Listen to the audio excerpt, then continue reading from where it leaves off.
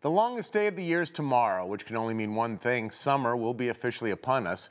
In this week's Skywatch 16, meteorologist John Hickey shows us what the summer solstice means across the globe and what it looks like from space.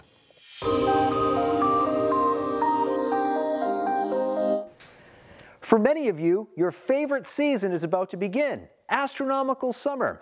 The fun begins, if you're a fan of summer, officially a little bit before 11 on Wednesday. But what exactly is astronomical summer? Well, if you're looking down in our solar system, this is the point when our Earth is most tilted towards the sun. The sun's rays are right above what's known as the Tropic of Cancer, which is about 23 and a half degrees above the equator. So in the northern hemisphere, this is the time of year when we have the most amount of daylight. As you get closer to the equator, you get mostly equal daylight. And once you drop below the equator in nor northern hemisphere summer, you can see that you have a lot less daylight to work with each and every day. For our area, we're looking at more than 15 hours of daylight at this time of year. And it's going to hang there for at least a couple of weeks before we start to retreat back closer to winter's darkness.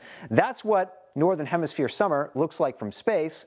There's a little bit of a misconception in Northern Hemisphere summer because people think that, well, we must be closest to the sun this time of year. But believe it or not, we're actually closer to the sun in the winter than we are in Northern Hemisphere summer. So those warmer days are all due to the fact because we are most tilted towards the sun. So if you're a fan of summer, this is your time of year. So kick back, relax, and enjoy.